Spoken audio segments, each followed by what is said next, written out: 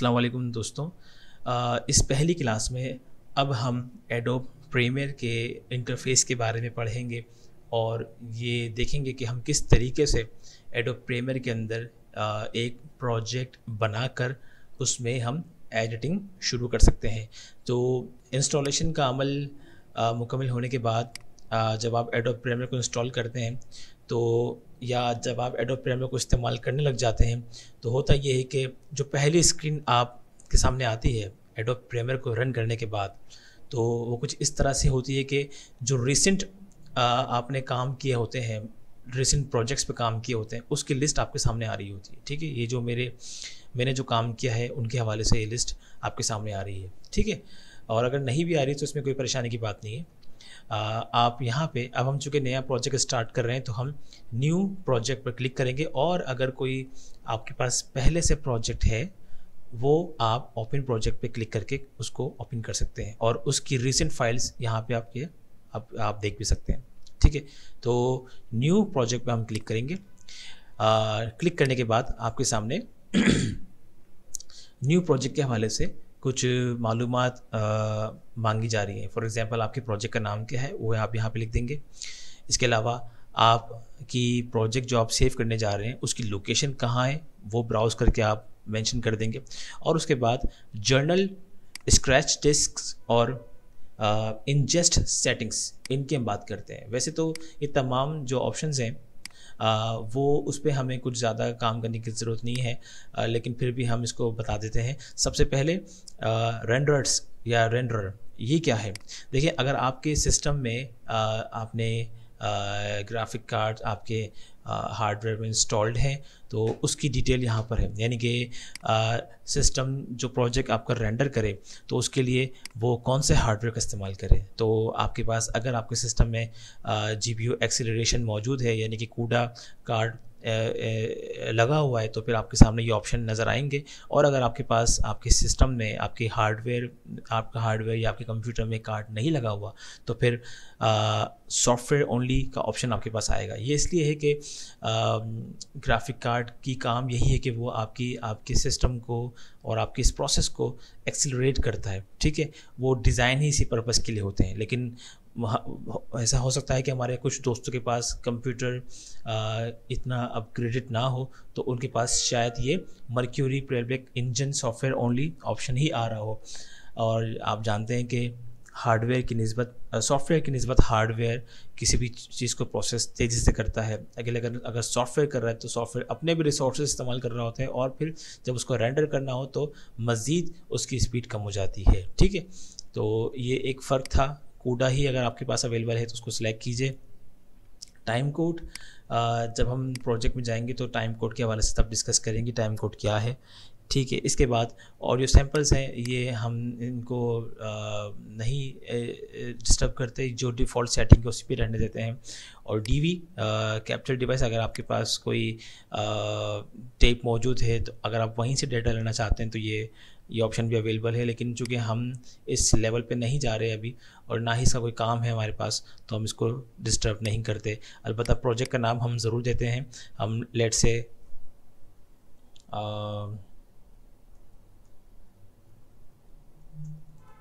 Premiere Pro class one और browse करके मैं लोकेशन को चेंज कर देता हूँ।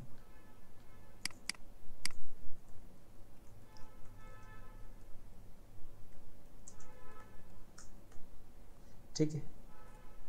स्पेल मिस्टेक हो गई है। लर्न प्रीमियर प्रो ठीक है। तो लोकेशन के अंदर ये मेरा लोकेशन आ गई है और प्रेमियर प्रो क्लास वन मेरे प्रोजेक्ट का नाम है। वन कर दिया है मैंने और अब मैं ओके कर दूँगा। ओके करने के बाद आप ये देखें कि आपके पास आ, एक इंटरफेस खुल चुका है और ये जो आपको मुख्तलिफ़ बॉक्सेस नज़र आ रहे हैं ये बेसिकली इस एडोब प्रीमियर के इस सॉफ्टवेयर के कंपोनेंट्स हैं ठीक है? ये कंपोनेंट्स जो आ, किसी भी एडिट के लिए वैसे कि मेरे मेरा ये मेरा अपना इंटरफेस बनाया हुआ है। आप अपने हिसाब से एक इंटरफेस को एडजस्ट कर सकते हैं ठीक है? यहाँ पे आप ये देख रहे हैं कि मुख्तलिफ़ पैनल्स आ, का सेट मौजूद है। आपको जिस तरीके की पैनल चाहिए। बहुत सारे पैनल्स यहाँ मौजूद हैं। ये बहुत सारे पैनल्स हैं ठीक है? तो आ, ये वर्क स्पेस जिसे हम कहते हैं ठीक है?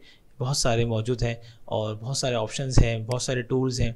तो हर टूल को यहाँ पे हम एक साथ नहीं डिस्प्ले कर सकते वरना आप काम नहीं कर पाएँगे। इसीलिए जो अहम टूल्स हैं या आम अहम पैनल्स हैं उसको यहाँ पे डिस्प्ले किया गया है ठीक है? यहाँ पे आप ये देख सकते हैं। लेकिन ये सब के सब अभी इनएक्टिव हैं क्योंकि अभी यहाँ पे हमने कुछ चीज़ें इंपोर्ट नहीं की जब इंपोर्ट करेंगे तो ये जो इनएक्टिव कंपोनेंट्स हैं, ये एक्टिव हो जाएँगे, ठीक है?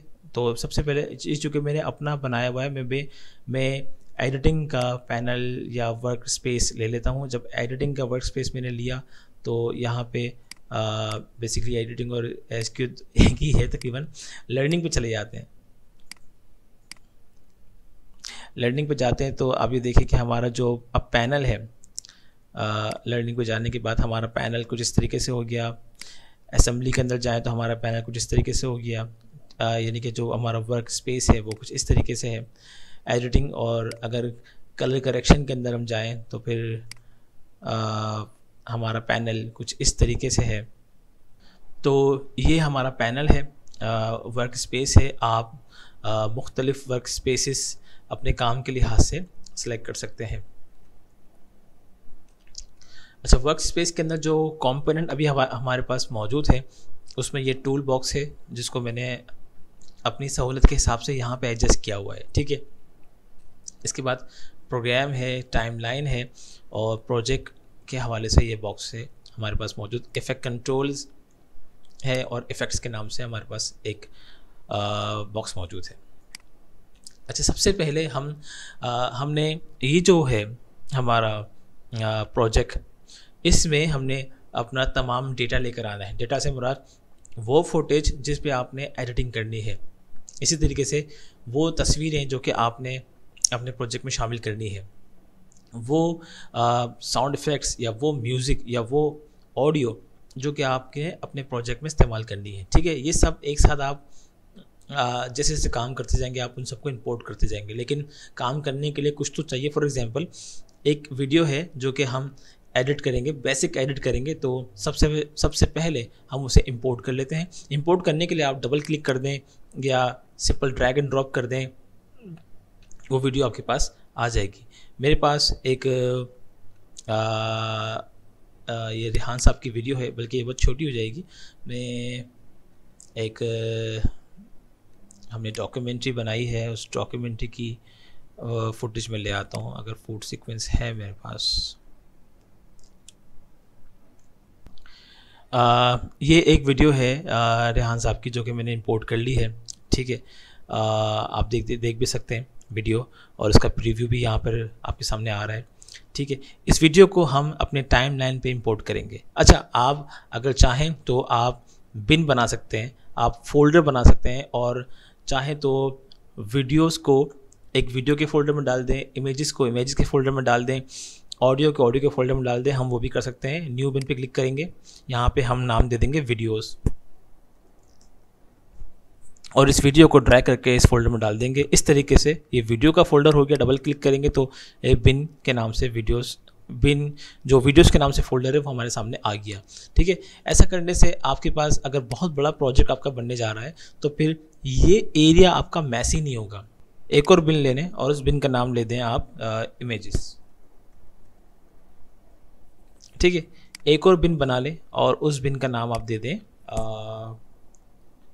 ऑडियो ठीक है? तो ये तीन आपके पास फोल्डर आ गए और इन तीन फोल्डर्स के अंदर आप अपने डेटा डाल सकते हैं ताकि आप इजीली उनको, आपका ये एरिया मैसी ना हो और आपको जो चीज़ आप ढूंढना चाह रहे हैं, वो चीज़ आप इजीली आप ला सकें।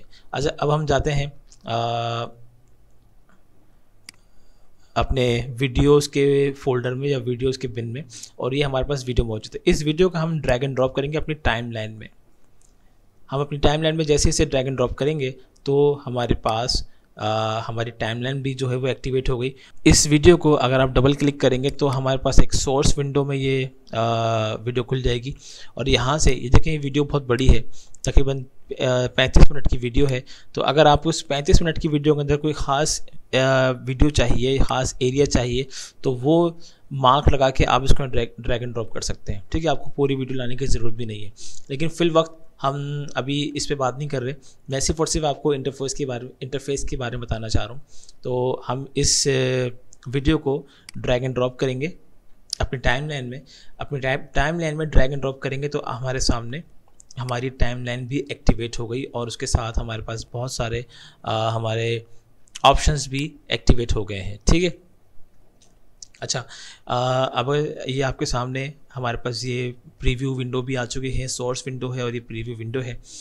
यहाँ पे जो भी हम काम करेंगे वो हमें यहाँ प्रीव्यू विंडो में नज़र आएगा। जो भी इफ़ेक्ट्स हम अप्लाई करेंगे जो भी ओवरलेस जो भी पिक्चर्स हम अप्लाई करेंगे वो हमारे इस प्रीव्यू विंडो में हम उसको देख सकते हैं कि किस तरीके से नज़र आ रहा है। ठीक है? बाज़ात आपको प्रीव्यू करने के लिए अगर अगर मैं, मुझे प्रीव्यू करना है तो ये जो विंडो है तो बहुत छोटी सी है। अब इसको बड़ा करने के लिए आप या तो इसको सिंपल रिसाइज करेंगे, जो कि एक ठीक अमल नहीं है, कर भी सकते हैं, लेकिन एक शॉर्टकट मौजूद है और वो शॉर्टकट है ये। इसको स्केप की कह सकते हैं। नहीं इसको आ, ये बिल्कुल आपके कीबोर्ड पे टेप बटन के ऊपर एक ये की है और इस की का नाम मुझे नहीं पता क्या है लेकिन अगर इसको प्रेस करेंगे तो इस तरीके से आपकी वीडियो आपका जो जो भी कंपोनेंट उस वक्त सिलेक्ट होगा वो इनलार्ज हो जाएगा। फॉर एग्ज़ाम्पल मैं टाइमलाइन को सिलेक्ट करता हूँ। टाइमलाइन को मैंने सेलेक्ट किया और अब मैंने ये की प्रेस की तो अभी देखें मेरी टाइमलाइन जो है वो पूरी स्क्रीन पर बड़ी हो गई लार्ज हो गई और अब मैं ईजीली अपनी टाइम लाइन को पढ़ सकता हूँ और उस पर काम कर सकता हूँ। दोबारा मुझे इस इस मॉड से बाहर निकलने के लिए इसी की को प्रेस करना पड़ेगा तो मैं दोबारा अपने ओरिजिनल इंटरफेस पर आ गया। अब मैं ज़रा इस प्रोजेक्ट विंडो में जाता हूँ और ये प्रोजेक्ट विंडो मैंने सेलेक्ट की है। अब मैं इसके या इस की को दबाऊँगा तो ये देखिए मेरे पास ये जो विंडो है, या, ये कंपोनेंट जो है इनलार्ज हो गया। तो इस तरीके से आप सहल होकर काम कर सकते हैं एडोब प्रीमियर में। जैसे ही तो बात कर रहे थे हम कि जैसे ही मैंने इसको टाइमलाइन पे इंपोर्ट किया इस वीडियो को इस वीडियो के मुख्तलिफ़ ऑप्शन हमारे पास अवेलेबल हो गए। प्ले बटन से आप वीडियो को प्ले कर सकते हैं। so, इस तरीके से स्पेस बार प्रेस करेंगे तो स्पेस बार से भी आप वीडियो को प्ले कर सकते हैं। ठीक है दोस्तों तो यहाँ इस लेक्चर में हमने बात की कि इंटरफेस क्या है और इंटरफेस के मुख्तलिफ़ कंपोनेंट्स क्या हैं हमने उसकी बात भी कर ली। थोड़ी बात और कर लेते हैं। प्रोजेक्ट विंडो के अंदर हमने ये बीन बना लिए और ये वीडियो बीन हमारे पास आ गया। इफ़ेक्ट कंट्रोल के अंदर आ, हम जो भी हमारे पास क्लिप या फुटेज या ऑडियो वट जो भी सिलेक्ट होगा, वो हमारे पास यहाँ पे उसके पैरामीटर्स आ जाएँगे। ठीक है, ये पैरामीटर्स क्या हैं, इन पर ही बात करेंगे। और ये इफ़ेक्ट्स का हमारे पास फोल्डर है या पैनल है, और यहाँ पे हमारे पास ऑडियो इफ़ेक्ट्स मौजूद हैं ऑडियो ट्रांजिशन हैं वीडियो इफ़ेक्ट्स हैं और वीडियो ट्रांजिशन है। इन सब पे हम इंशाल्लाह ज़रूर बात करेंगे अपने आने वाले लेक्चर्स में।